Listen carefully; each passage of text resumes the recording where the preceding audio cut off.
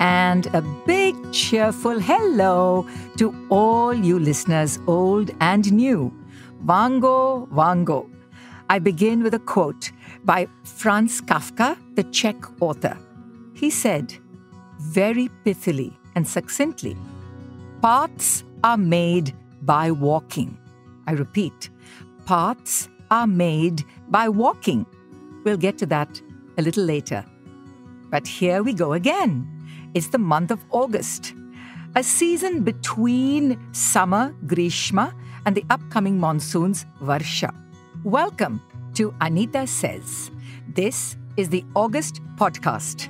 This is also the season when many in South India take to health resorts and Ayurvedic centers to strengthen their immune systems because it is believed that it is a very important time when the rays of the sun weakens and our bodies become most susceptible to infections and illness.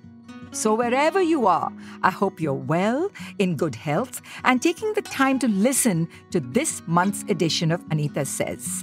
I'm Anita Ratnam, and this is a monthly capture of my personal views on what's happening, shifting, and changing in the global landscape of Indian dance traditions. What can I say but the grand spectacle of the opening ceremony of the Paris Olympics. Now, I'm well aware of the multiple performances, arangetrams, showcases, festivals, outdoor events, and dance gatherings that have continued and will continue through the months before and after.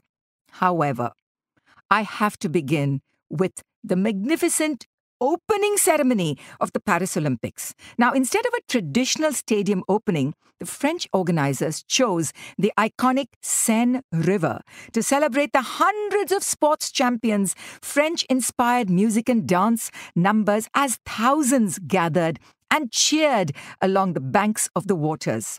Despite the terrorist train attack on the same day, the sight of a glowing Celine Dion, the French Canadian singer, performing against the Eiffel Towers was a fabulous reminder of her strength and courage, succeeding against multiple near fatal health challenges.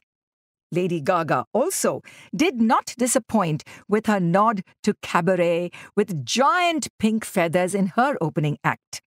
The rumble and anger against several drag and transgender performers imitating the Last Supper image of Jesus Christ, made iconic by Leonardo da Vinci, is still aflame on social media, but the games have already begun.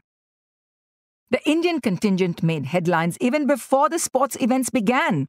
The team's fashion outfits, designed by Tarun Tahiliani, came under heavy criticism for their lack of imagination and failure to showcase India's diverse and glorious textile skills. The India Pavilion was launched for the first time at the Olympic Village and featured several folk performers and Bollywood singers. At the time of this recording, India has won its sole Olympic medal, a bronze for air pistol shooting by 22 year old Manu Bhaker. You're listening to Anita Says, a monthly capture of the global world of Indian South Asian dance. Dance made headlines even before the Games began. Hundreds of dancers contracted for the opening event went on strike, complaining about poor food, poor living conditions, and low wages. At the last minute, an agreement was reached to send the dancers back onto the boats for the spectacular, spectacular opening event. It seems that anywhere and everywhere in the world, dancers are made to work the hardest for long hours and are mostly taken for granted as puppets and mere bodies to be pushed around and rearranged. But not all hope is lost for dancers if they're fortunate to have the ideal patron. On Guru Purnima Day, July 21st, a privileged group of dancers were acknowledged, supported, and applauded for their performance at the NMACC Ambani Center in Mumbai. On the specific request of cultural Tsarina Nita Ambani, Bharatanatyam choreographer Rama Vaidyanathan mounted a successful work called Nimagna, immersion with 25 students. Imagine being hosted for five days, given three days of tech support, sets created as per prior specification, and a team that adheres to international standards. A house full show with a prolonged standing ovation was icing on the cake. The double bill that evening was with Odissi artist Ratikant Mohapatra and his troupe, and this was an added bonus for the delighted audience. After film star Shobana, who commanded a house-full show at the Grand Theatre a few months ago, this is the second classical dance event at the 2,000-seater space. You're listening to Anita Says, a monthly podcast on all that's happening in the world of Indian dance worldwide, and I am Anita Ratnam. Meow, cat ladies. I bring this up because when Republican Vice President nominee J.D. Vance made a misogynistic comment about U.S. Vice President Kamala Harris being a quote, childless cat lady with no stake in the future of America, the internet exploded in fury. Even in our culture and other traditional societies, a woman's role is never complete unless she becomes a mother. I think about the numerous dancers, musicians, and creative women who have focused on their careers and who have chosen either to remain single or, if in a relationship, have made a conscious decision not to become a parent. I know how much time parenting takes away from my own creative arc because I've been told numerous times that children are a quote, distraction. And that I would have progressed much further in my artistic career if I had been single without children. While I can disagree vigorously with this observation since I love my role as a mother, I feel that these are purely personal choices. To punish or penalize women for their independent views and life decisions is totally unacceptable. So, Hello, cat ladies. Malavika, Valli, Chitra, Sonal, Padma, Ananda, Sonali, Swarnamalya, and everyone who continue to make important personal choices that suit your life map. We love you and the always amazing Alarmel Valli made a brief and rare dance appearance during the Chennai book launch of her dear friend poet Arundhathi Subramaniam's Wild Women. It was a lovely morning event in Chennai, a departure from the usual boring book releases. An added treat was seeing a recovered Bombay Jayashree Ramnath, looking weak but well, receiving the first copy. Her fans will recall her harrowing illness in Liverpool, UK, two years ago, and the long road back to recovery. Welcome back, Jayashree. You're listening to Anita Says, a monthly podcast about Indian dance, and I'm Anita Ratnam. A two hour drive along the coast from Chennai brought me to the new dance and creative crucible of Sakhi, a dream project of Shijith Nambiar and Parvati Menon. It is a soft and idyllic locale, still remote and inaccessible to city comforts, but with a great potential to become another Adi Shakti like space for dreaming and dancing. In a long conversation with young dancers from several countries, I tried to project a practical roadmap of how to navigate the enormous challenges that young artists face money, opportunity, recognition, Everyone in the session was clamoring for a piece of the pie. Everyone was conflicted about having a side hustle, a side job, or vocation that could support their dance passion. Somehow, today's young students have been told that if their mind was diverted from the daily rigor of practice, that they cannot be, quote, pure artists. This is misleading and can harm the young, hopeful mind senior gurus, and star mentors are doing a great disservice by drilling this outdated mantra to Gen Z. This is not rocket science. Dance needs money. I stress to each student that they had to find a skill that brings in the moolah, that can then support the dancing. It's that simple. Today, a young dancer needs to think of a job and dance, or at least dance and something else. Not just dance, dance, dance, dance, more dance. This will lead to heartbreak and disappointment. You're listening to Anita Says, a podcast about Indian dance, and I'm Anita Ratnam. There is an increasing pushback against traditional myths and ancient stories. Young students of dance are clashing with their teachers about the inappropriate or unsuitable nature of some familiar tales. Greek, Indian, Indonesian, Mayan, Celtic, and other ancient societies are replete with numerous narratives that carry messages of cultural, environmental, identity, and other issues that do not fit snugly on today's contemporary society. Now, let me give you some examples. Princess Sita, who curses the Tulasi bush for not speaking the truth when asked, and thereby denying it of all fragrance.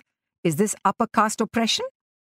Lord Krishna and Arjuna, who in the Mahabharata burn the Khandava forest to help the fire god Agni and displace the indigenous peoples of the land by doing so.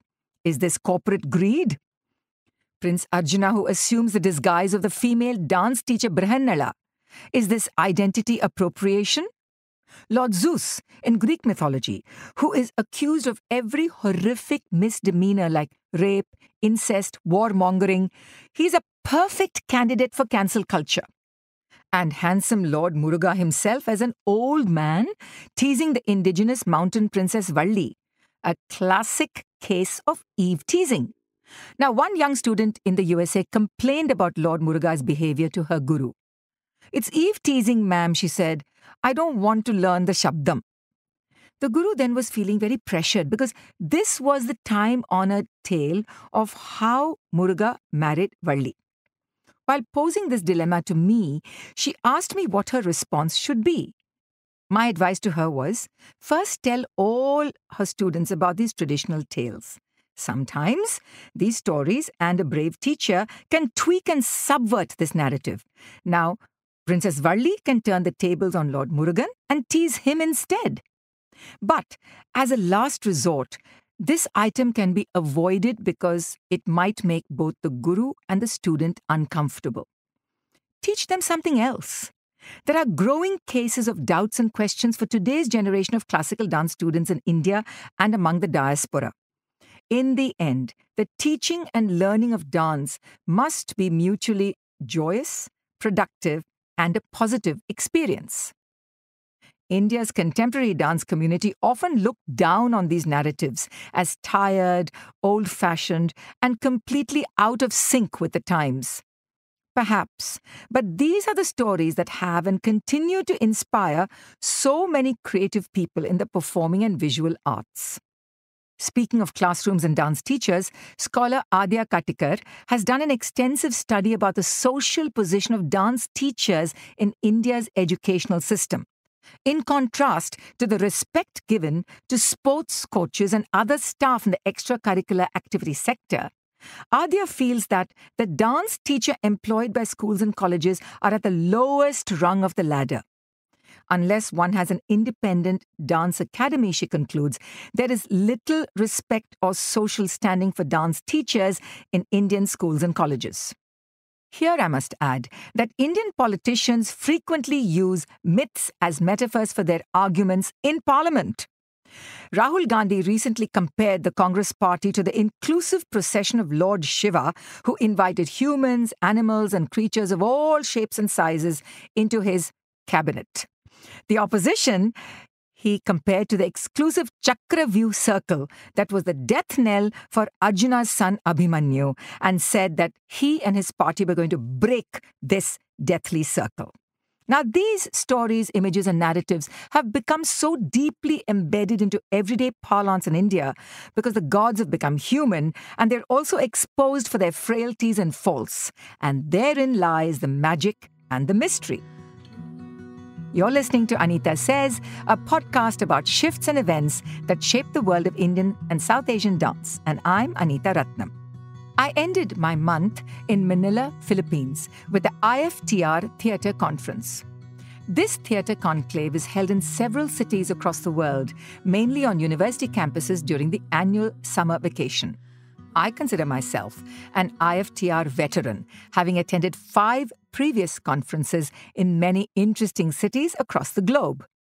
This year's theme was titled States of Emergency. My joint presentation was with Dr. Ketu Katrak of the University of California, Irvine, and was about the Chennai floods in 2015 and 2023 and how the artistic community rallied to support their colleagues in distress. Ketu spoke about the dire lack of sanitation and water in South African projects and in the slums of Dharavi in Mumbai. At the same conference, emerging scholar dancer Amrita Shruti Radhakrishnan presented her thoughts on ecologies of presenting dance festivals in times of climate instability. Amrita focused on the Serendipity Festival in Goa as her center point. A bright and engaging mind who has the advantage of being a Bharatanatyam performer and now segueing smoothly into scholarship, Dr. Amrita Shruti is a welcome voice and a discerning mind to the fractured dance landscape. What Indian dance needs today are more bright and questioning minds like Amrita and Adya, who are both affiliated to the Shiv Nadar University in Delhi NCR. Students and scholars who are willing to stay engaged while debating, disagreeing, arguing, and yet staying in the conversation. Even seniors like myself need these frequent checkpoints to stay alert to privileges and tightly held opinions. Intergenerational connections and discussions are the need of the hour. Meanwhile, Enjoy the spectacle of the Paris Olympics. Cheer the amazing spirit, tenacity, and grit of the athletes. As breakdancing and hip hop make their premiere in Paris as a dance sport, we look forward to more barriers crumbling between performance and athleticism and the growing exhilaration at the wonders and possibilities of the human body. Like the opening quote by Czech author Franz Kafka, one has to do the dance. One has to walk the path. You have to dance, play, compete in order to walk the path. It cannot happen by thinking, dreaming, talking, arguing, and procrastinating. What did he say? He said, Paths are made by walking, not by dreaming. So, with best wishes to all of you for continuing good health I wish you all a wonderful August. Until we meet again, thank you so much for tuning in to this podcast, Anita Says. Do share, subscribe, and send us your comments. Tell us about what you would like me to discuss in the coming episodes. Signing off from the Digi Sound Studio in Chennai, I'm Anita Ratnam.